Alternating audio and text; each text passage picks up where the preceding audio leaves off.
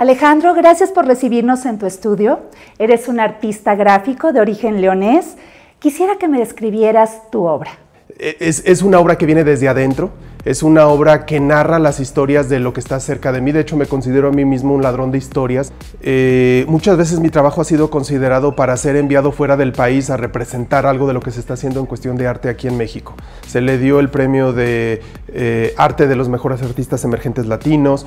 Está, inspirado en las artesanías, en, las, nuestras costumbres, en las herencias que se van transmitiendo de familia en familia donde la mujer funciona como una alcancía o una albacea.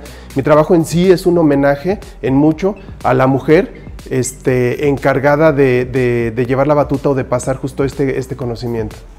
¿Cuáles son las técnicas que utilizas?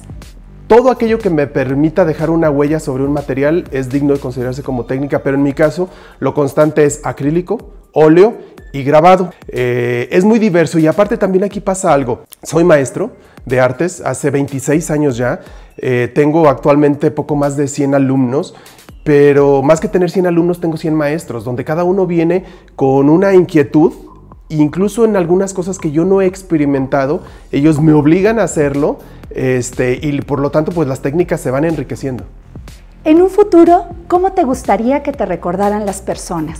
Eh, como una persona que disfrutó mucho su trabajo, de la cual todo el trabajo que ven eh, es resultante de una comunicación directa entre el pensamiento, el corazón y la mano, eh, como una persona que no trató de hacer críticas sociales, ni políticas, ni de conducta, sino expresar su punto justo como lo habría un niño contagiado de la fantasía que existe alrededor de nuestro país.